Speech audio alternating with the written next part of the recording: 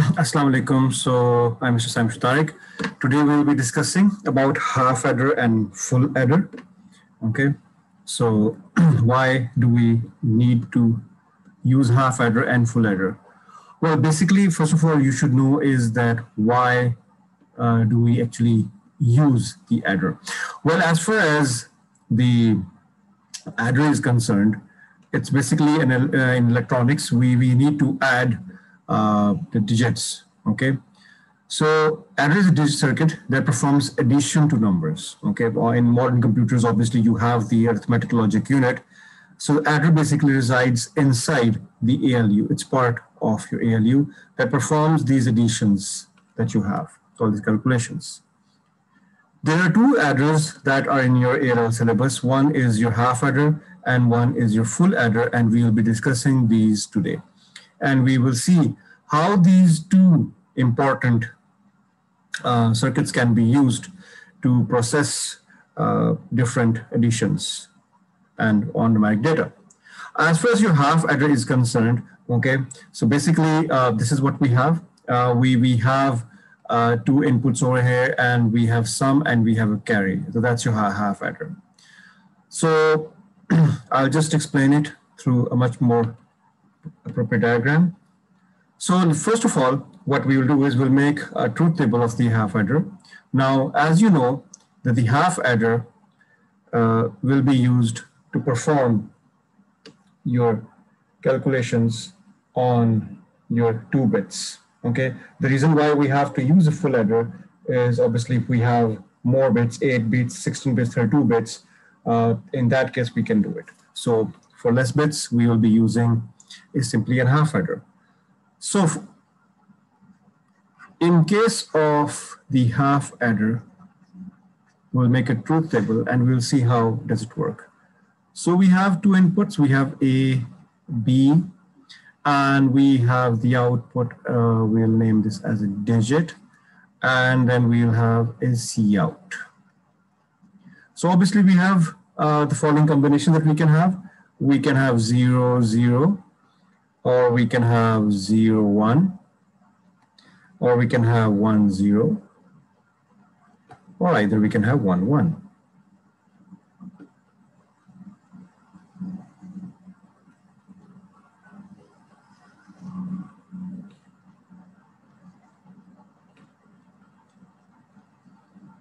Okay.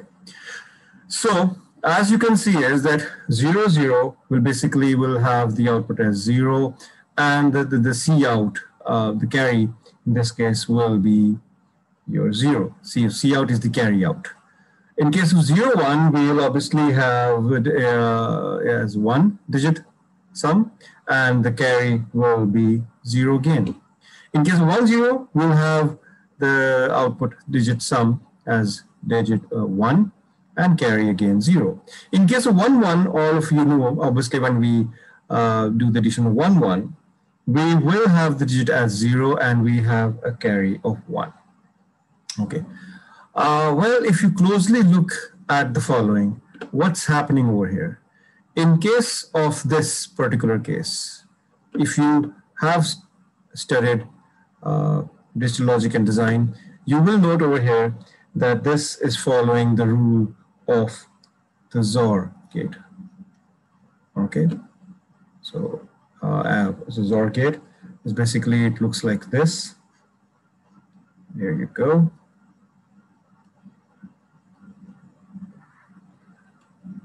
Trying to make it. So your digit that you're getting, uh, and that's your A and B. So the output that you're getting, this output, this output is basically coming through the XOR gate, right? Okay, right? So whenever uh, any one of them is, is one, the output is one. And as you can see over here, if you look, we look at the C out,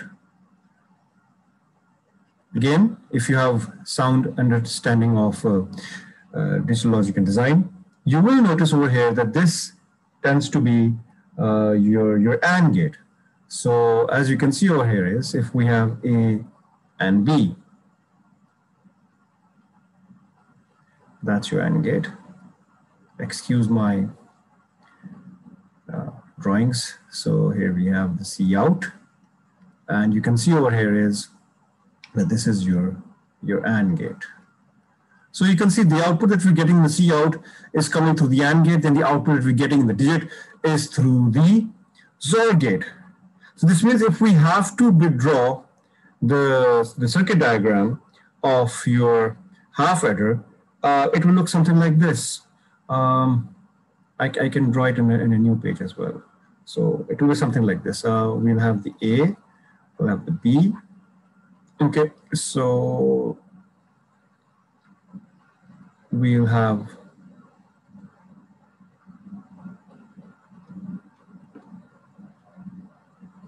the XOR gate, which will give us the digit, right?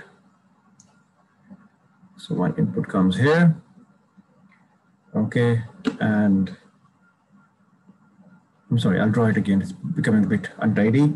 So as I was saying is, uh, let me just draw it a bit neat.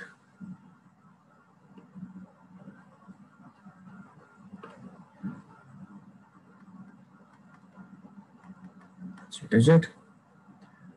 So that's your A coming in. That's your B coming in. Okay. And the same time, uh, you will have this B going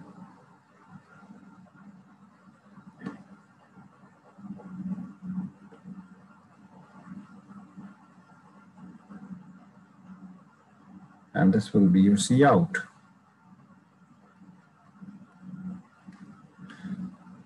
And this one.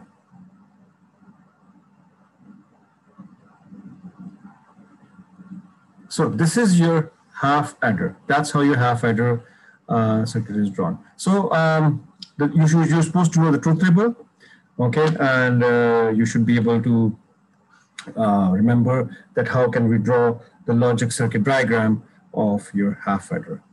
When we discuss about um, the truth table is, well, why there is a need of, of uh, full, uh, sorry, full adder?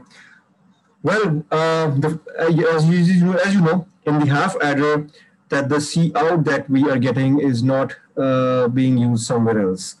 And obviously, if we want to add more bits, AS, A, A8, 1632, uh, we will need is a full adder. So um, in a very simple way, basically if you have is A and B two inputs, you will have is the third input, which is basically the, the C, the CN, okay?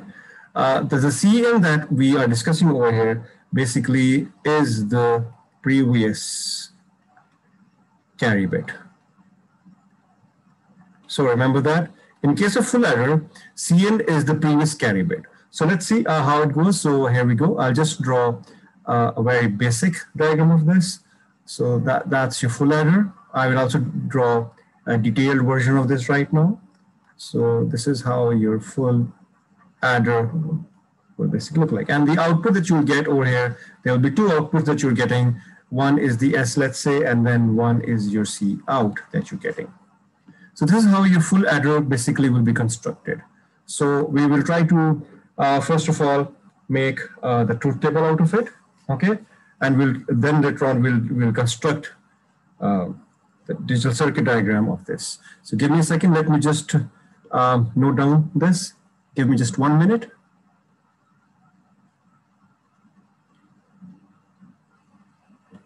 In fact, I'll just pause for a while. Let me just so here you go. Uh, this is what, what we have over here in case of full adder. So we have uh, the input A and B. Okay, we have the input A and B, and we have the other input as Cn, and this is what we have uh, the carry out and the sum. So this is sum and the carry. So in case of all zeros, obviously we have the sum and uh, uh, the carry as zero. Uh, in case of zero, zero, zero, and, and if Cn is one, we get the sum as one, carry is zero uh, so on and so so we get the following okay so um, now the important thing to note over here will be uh, we, we can see that the output of sum output of this sum that we have okay uh, is high, you'll see this is high whenever there are odd number of high inputs.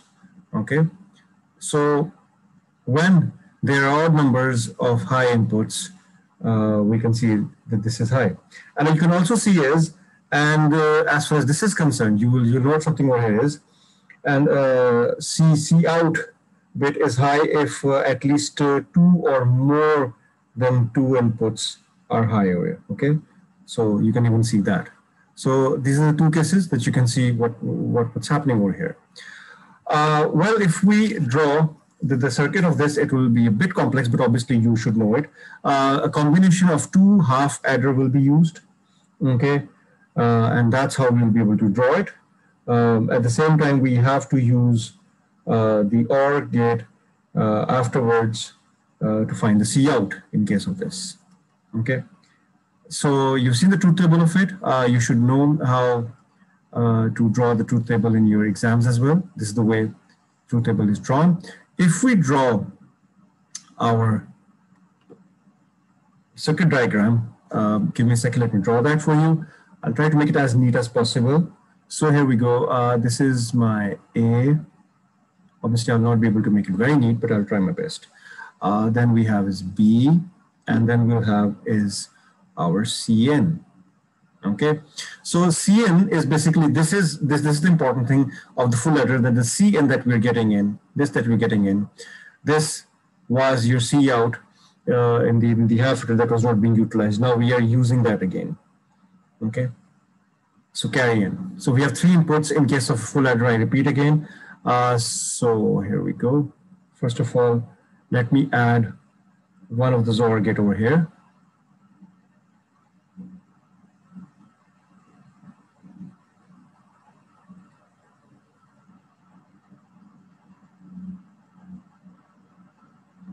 Okay, I will extend this and this will again be connected with another XOR gate. Uh, they're, they're obviously you can connect them it in a very different way as well. So I get the sum. Okay, so the output flow of this goes to the other XOR gate. So I have this XOR over here. I have this XOR over here.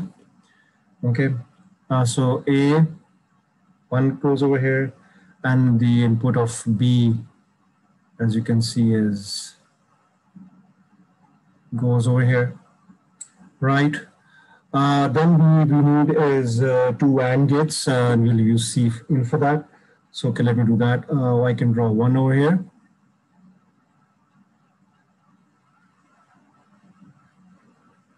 And I can draw one over here.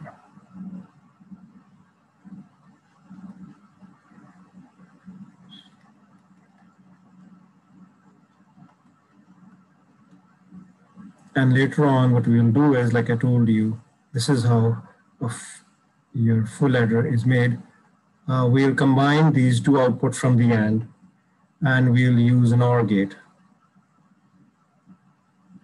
to get our C out.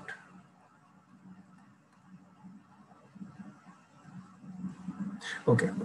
And if you implement this side by side with truth table, you understand exactly this is how it will work.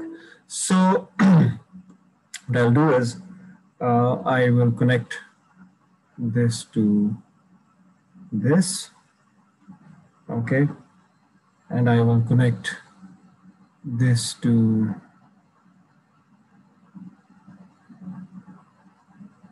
this. Then what I'll do is this needs to be connected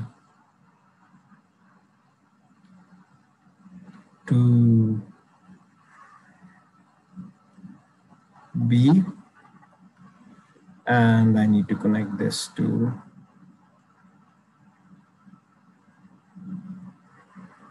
So when you, whenever you're drawing this, uh, what, what you should do is uh, make this curve and then take it. This means, uh, otherwise you, someone might think this is connected to B, but it's not.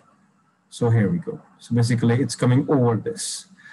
So somehow this is complete. Yeah, this is complete as you can see over here.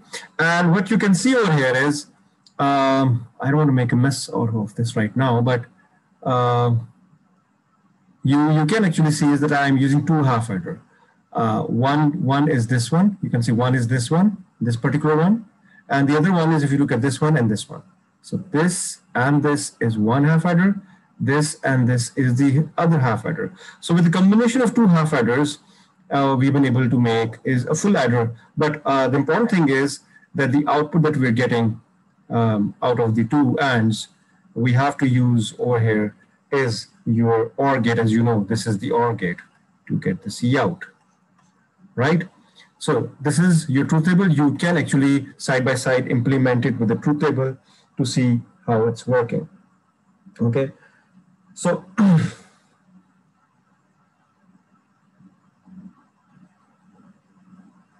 so basically you can also see over here one more thing. Let me just point it out.